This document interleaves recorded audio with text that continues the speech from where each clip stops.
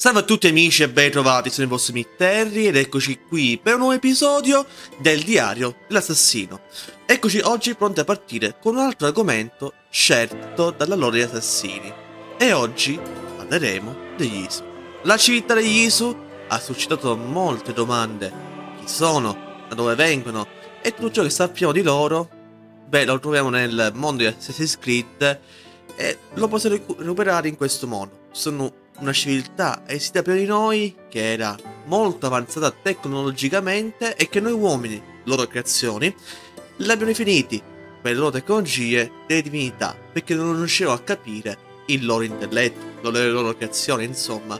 Quando l'uomo non riesce a capire scientificamente qualcosa, ne dà un significato molto semplice. È un atto divino. Anticamente quando le prime forme di divinità erano quelle della natura che creavano i fulmini, i fuochi, le ondazioni, insomma, tutte quelle cose che non riusciva a spiegare, le, eh, le guardava una natura divina. Ma oggi siamo pronti a parlare degli Isu, per quello che sappiamo.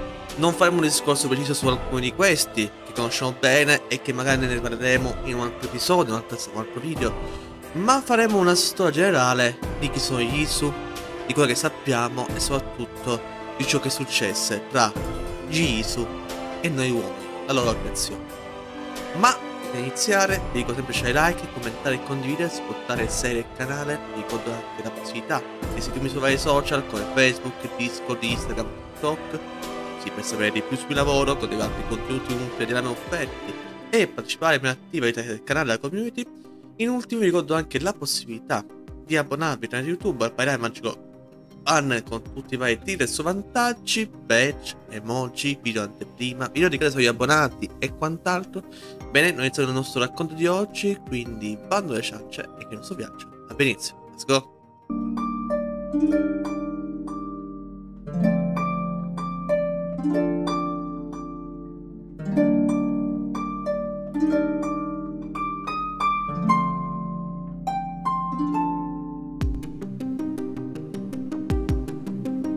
Benvenuti in questo affascinante viaggio nel mondo degli Isu, una civiltà antica e misteriosa che ha plasmato il destino dell'umanità nel mondo di Assassin's Creed. Attraverso l'incontro con questa divinità nei videogiochi e il segreto rivelato da Adamo ed Eva in Assassin's Creed 2, scopriremo chi sono gli Isu e quale ruolo hanno giocato nella storia.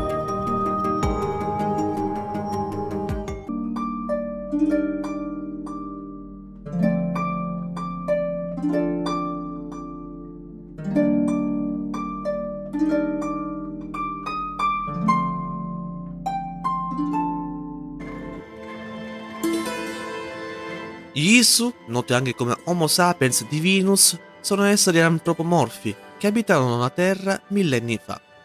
Furono i creatori della razza umana, modellando la loro immagine e somiglianza, servili come forza lavoro docili.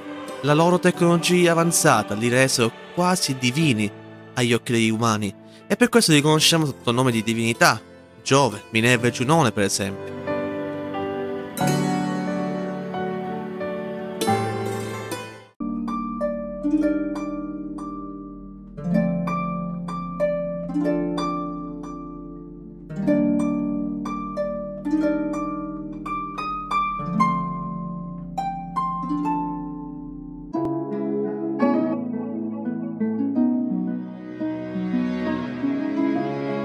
Ad un certo punto della loro convivenza, gli Isu entrarono in conflitto con alcuni umani ribelli, per poi essere tutti uomini a ribellarsi, stanchi di essere trattati come schiavi dai loro creatori. Ma mentre la guerra era in corso, un cataclisma stava per abbattersi sulla Terra. E a questo punto che alcuni scienziati Isu, non devoti alla guerra, cercarono una soluzione a questa terribile catastrofe, in quelli che noi oggi chiamiamo grandi templi. I loro sforzi però furono umani e perciò uno di questi scienziati, Minerva, usò l'occhio, uno strumento ISU per prevedere il futuro, per cercare di dare un messaggio alle popolazioni future per avvertirli di un'altra catastrofe, simile a quella che li stava colpendo, che avrebbe colpito la Terra nel 2012. Questo possiamo rivedere anche in Assassin's Creed Valhalla nelle visioni di Odino. Dopo di ciò, causa del cataclisma, la civiltà Iso si estinse lasciando la terra a quei pochi umani rimasti in vita. Tuttavia, il ricordo degli Iso è rimasto nei miti nelle leggende di tutto il mondo.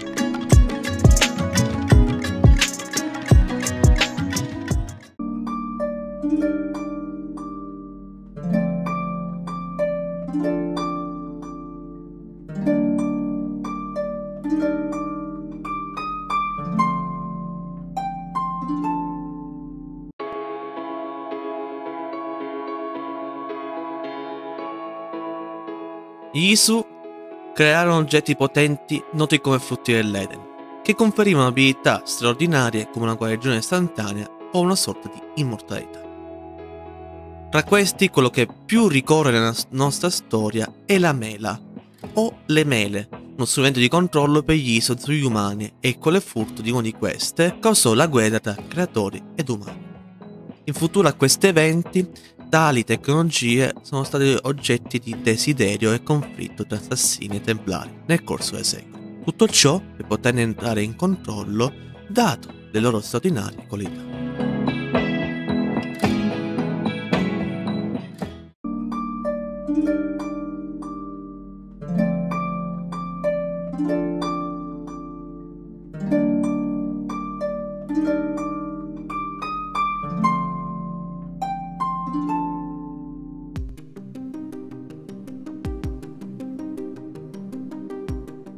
Nonostante siano spariti millenni fa, come abbiamo detto, gli Isu lasciarono un'impronta indelebile nella storia umana.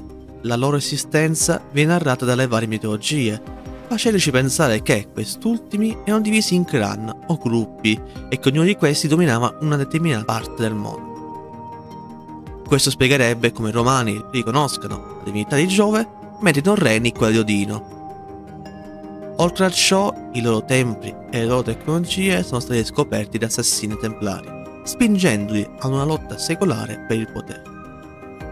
Una lotta simile a quella avvenuta ai loro tempi tra i suoi umani, tra controllo e libertà. Una cosa che a pensarci sembra davvero curiosa e intrigante.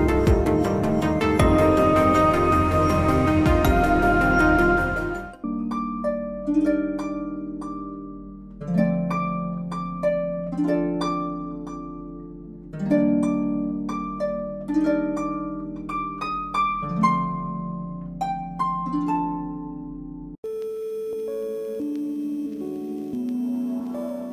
frammenti lasciati dal soggetto 16 in Assassin's Creed 2 prendiamo conoscenza del segreto di Adamo ed Eva e di come loro abbiano rubato una mela dell'Eden.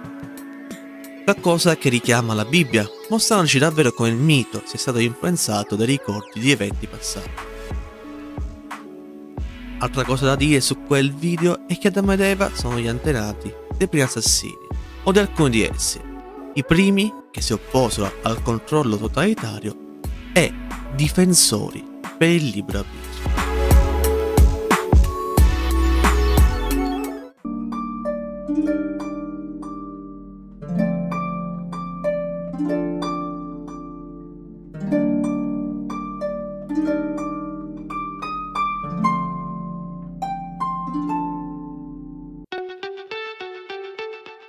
Isu rimangono un enigma, ma la loro influenza è ancora viva nei conflitti tra assassini e templari.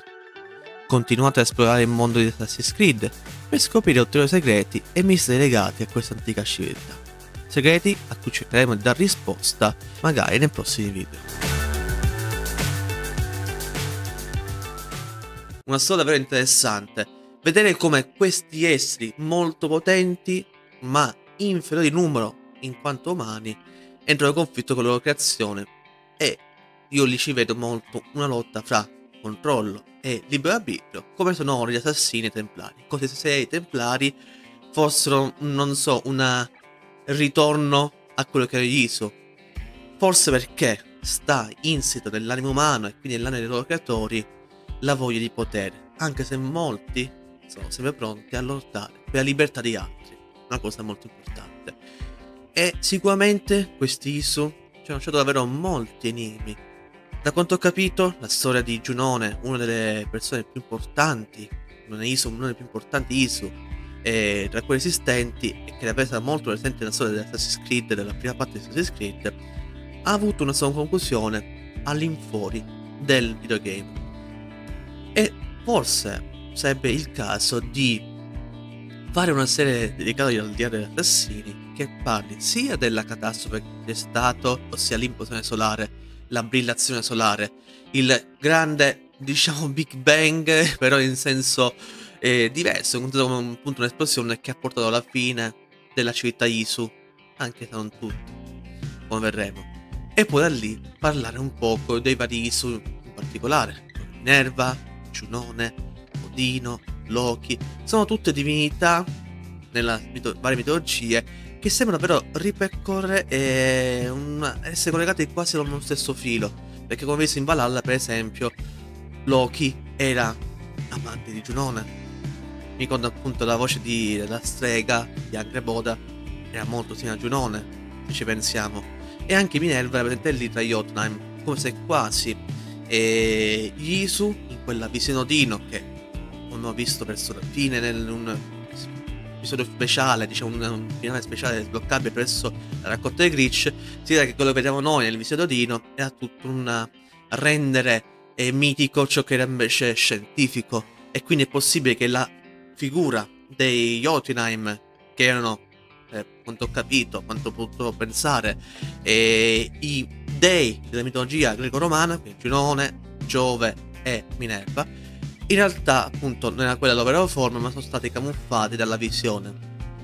Ed è davvero, vorrei capire davvero il filo logico che li collega, sembra davvero molto interessante, anche se, se ricordo male, poi Loki, Basim, fino alla di Valhalla, si unì alle Teia, che è un'altra divinità greca, ma non è Giunone, forse non è Giunone quella lì, anche Bolas, è appunto le Teia devo indagare ragazzi, è una cosa che davvero non, non so, non so, cioè sono tante cose su Assassin's Creed ma molte sono rimasto un poco da, cioè devo rinfrescare un po' la coscienza di certe cose o anche da vedere ciò che dicono altre fonti me, diciamo rispetto al gioco perché oltre al gioco ci sono anche i fumetti, i libri che andranno a spiegare poi nuove cose come per esempio Giunone che fine farà. Ma vabbè con questo finiamo questo episodio di oggi. Spero che il video vi sia piaciuto. In caso vi lasciate un like, a commentare la vostra. In caso avete fatto, iscrivetevi al canale e attivate la campanellina.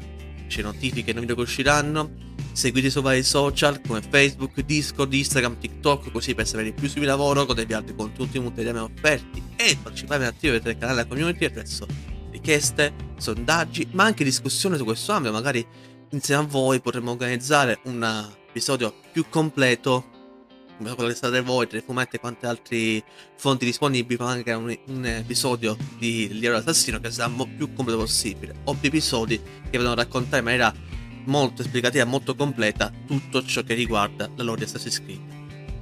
Oltre a questo vi ricordo anche la possibilità di abbonarvi tramite YouTube o la per Magico Panel su vari vantaggi, badge, emoji, la possibilità di episodi in anteprima prima che escano, ma anche serie dedicate agli abbonati, questo voi avete dei vari vantaggi. E date un piccolo supporto a questo po' youtuber eh, povero no, questo youtuber che vi sta intrattenendo cercando di fare il lavoro e questo lavoro al massimo delle sue possibilità.